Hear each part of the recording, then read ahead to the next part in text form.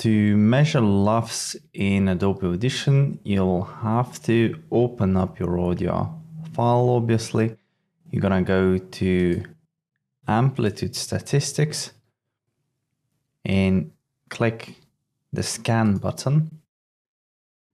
Adobe Audition will quickly scan your audio and you'll have plenty of information right here. And you can find your LUFS or overall perceived loudness right here. And in my case, it's minus 20 LUFS. So that's an important information when, for example, you're uploading your audio to some sort of platform like YouTube, Spotify, or whatever, and they have usually they have certain standards for how loud your audio should be.